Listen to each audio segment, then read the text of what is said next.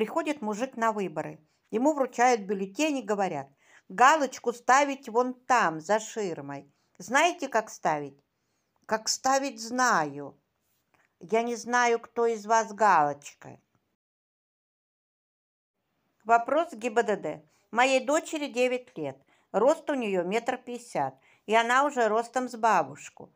Надо ли бабушке детское автокресло покупать? Наташа решила для укрепления волос помыть голову пивом, чем почти довела мужа до инфаркта.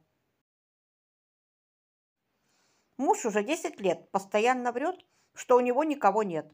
А я... Ну, неправильно у нас асфальт кладут.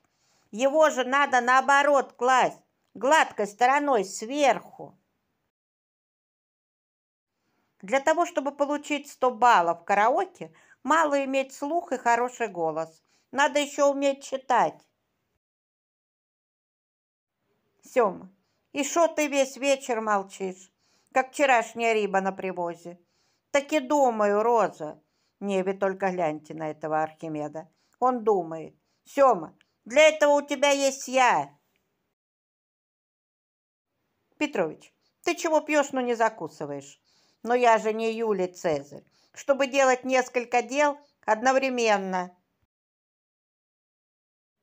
Я слышал, вы развелись. Да, да как-то неудачно. В смысле? Так опять вместе живем.